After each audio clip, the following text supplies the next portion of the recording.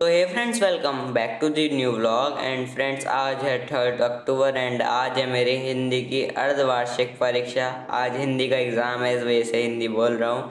And सारा syllabus वगैरह हो चुका है ऑलमोस्ट एंड अब मुझे रिवीजन करना है. मैं फाइव एम पे थोड़ी जल्दी उठ गया था. ताकि यार जो अलंकार वगैरह होते हैं ना, उन्हें रिवाइज़ कर लो. एक बार तो दिमाग में बैठ जाते हैं सुबह सुबह तो उन्हें एक बार रिवाइज़ कर लूँगा, कुछ क्वेश्चन आंसर वगैरह पढ़ लूँगा और एक आध पी वाई क्यू वगैरह देख लूँगा. मतलब पी वाई पी देख लूँगा प्रीवियस ईयर क्वेश्चन पेपर ताकि थोड़ा पता चल जाए कि हाँ कैसे आएगा पेपर और कैसे कैसे टोटल होने वाला है। तो चलो अब जल्दी से पढ़ लेते हैं। तो यार यहाँ पे मैं अभी पी वाई क्यू मतलब पी वाई पी देख रहा हूँ। एंड ये शायद 2020 का पी वाई पी है। एंड यार इसे देखने के बाद ना क्या होगा ना मैं थोड़ा एनालाइज कर लूँगा कि यहाँ पेपर में कितने ऑप्शन आएँगे, कितना टाइम मैनेजमेंट कैसे करना है। ये सब मैं पहले ही देख लेता हूँ एंड आप भी ऐसे कर लिया करो। एंड यार कुछ लोग पूछ रहे थे कि मतलब जो हिंदी में है वो टिप्स एंड ट्रिक्स दे दो कुछ। तो यार हिंदी में मैं एक ही बात कहूँगा सबसे पहले तो।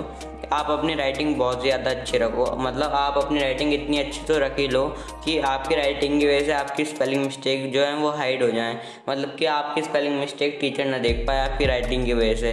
तो ऐसी राइटिंग करने के लिए आप क्या कर सकते हो? जब भी आपके एग्ज़ाम स्टार्ट हो रहे हो तो उससे पंद्रह बीस दिन पहले से ही राइटिंग करना शुरू कर दो। रोज़ एक पेज करो। एंड मैं भी ऐसे करता हूँ एंड मेरी राइटिंग भी अच्छी हो जाती है एंड स्पेलिंग मिस्टेक भी कम होती है। यार ऐसा होता है ना जो C B S E boards वाले हैं, वो ज़्यादातर मेरे से रिलेट कर सकते हैं कि जब भी तुम पेपर देते हो हिंदी का तो यार क्या होता है, हाथ में तुम्हारे दर्द होने लगता है या फिर राइटिंग बेकार आती है लास्ट में। ऐसा ज़रूर होता है एंड सबके साथ होता है। तो उसका एक ही सोल्यूशन है कि डेली राइटिंग करा करो तो आपकी भी राइटिंग भी अच्छी हो जाएगी। एंड साथ में अगर बात करें अलंकार वगैरह की तो यार अलंकार वगैरह के लिए तुम यूट्यूब पर वीडियो वगैरह देख सकते हो ग्रामर की, जिससे आप ग्रामेटिकल एरर्स वगैरह भी कम कर सकते हो। एंड यार ग्रामर में तो बहुत सारी ट्रिक्स होती हैं। मैंने मतलब यूट्यूब पे एक चैनल है, हिंदी अध्यापक, वहाँ से मैं वीडियोज़ देखता हूँ। एंड वो बहुत सारी ट्रिक बताते हैं, आप भी उन ट्रिक्स को यूज़ कर सकते हो। एंड जो हिंदी की लिटरेचर वगैरह होती है, वो तो मैं एन से ही रीड कर लेता हूँ। एंड एन में सबसे बढ़िया मतलब लिटरेचर दी रखी होती है। वहीं से रीड करो। रीड करने के बाद में वहाँ से ही क्वेश्चन आंसर आप आराम से बना के लिख सकते हो। मैं भी वहाँ से ही बना के लिखता हूँ। एंड मैं हमेशा बना के लिखता हूँ। मैं ऐसा नहीं कि याद करता हूँ। मैं हमेशा बना के क्वेश्चन आंसर लिखता हूँ। एंड बना के मुझे मतलब फुल तो नहीं, लेकिन हाँ हाफ़ नंबर अगर कट भी जाए तो मतलब राइटिंग पे कटता है मेरा। नंबर तो मैं राइटिंग वगैरह अब तो मैंने बहुत अच्छी कर ली है। पहले से तो बहुत ज़्यादा अच्छी कर ली है पिछले साल से। तो अब तो ज़्यादा नंबर नहीं कटते एंड मुझे आई होप कि पेपर बहुत ज़्यादा अच्छा जाए। तो चलो अब जल्दी से पढ़ लेते हैं। तो यार आप लोगों को एक इम्पोर्टेंट मैसेज देना था कल, यानी कि फोर्थ अक्टूबर को। मैं आ रहा हूँ लाइव अन अकेडमी पर, जहाँ पर हम आपके डाउट क्लियर करेंगे। मतलब कि मैं आपके डाउट क्लियर करूँगा एंड आप मेरे डाउट क्लियर करना। एंड हम सब अपने अपने डाउट क्लियर करेंगे एंड साथ में खेलेंगे क्विज क्विज में साइंस के क्वेश्चन पूछेंगे क्लास टेंथ की एन बुक से सारे एमसीक्यू फॉर्मेट में। एंड बहुत ही ज़्यादा मज़ा आने वाला है। कल इलेवन ए पे होगी लाइव तो सब आ जाना डिस्क्रिप्शन में लिंक है। अलार्म रिमाइंडर वगैरह सब लगा लो। कल इलेवन ए पे आ जाना। तो चलो वीडियो में आगे बढ़ते हैं।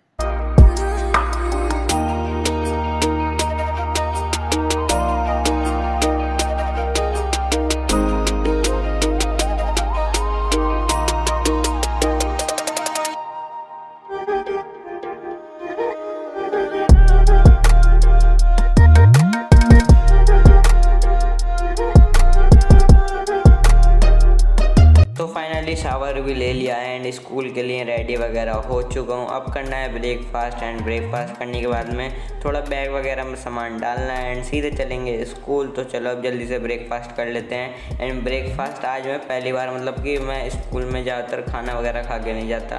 मैं फ्रूट्स वगैरह खा लेता हूँ और दूध वगैरह पी लेता हूँ, लेकिन आज मैं खा रहा हूँ आलू का पराठा।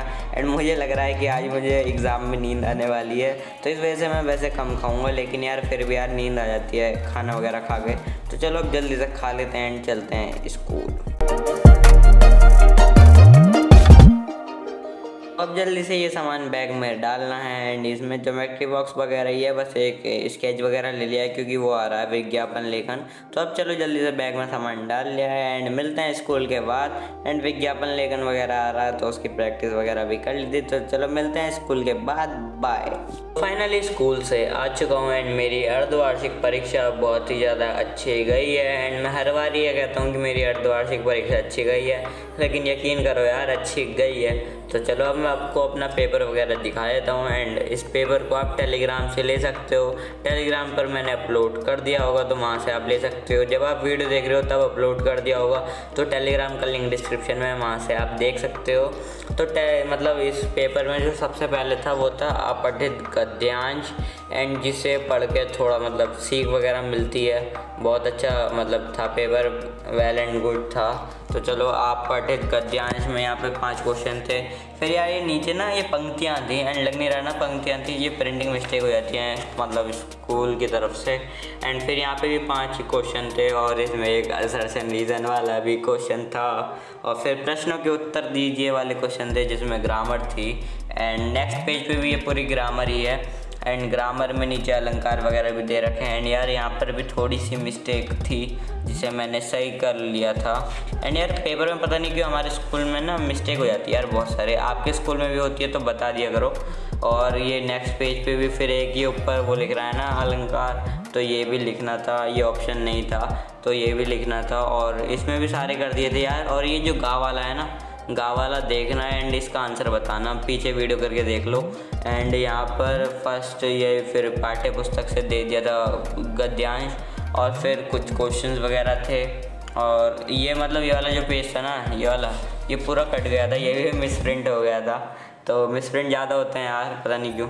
और फिर ये गत पाठ हो गए, दो एम सी क्यू दे रखे थे एंड फिर नीचे ये दे रखा है हमारा पठित पदांश। और इसमें भी क्वेश्चन थे एंड थोड़े हाई लेवल के क्वेश्चन थे, लेकिन कर दिए थे। अब फिर यहाँ पे फिर एम सी क्यू आ जाते हैं। एंड ये की बार एम जो थे ये, वहाँ से वहाँ से थे काव्य में काव्य खंड में से।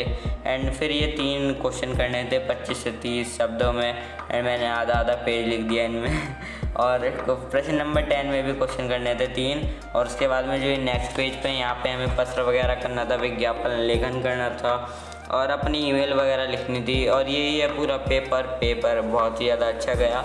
इजी पेपर था ज़्यादा हार्ड नहीं था यार, लेकिन यार इसमें ना थोड़े प्रिंट वगैरह की मिस्टेक हो जाती है। तो मिलते हैं नेक्स्ट वीडियो में, तब तक के लिए बाय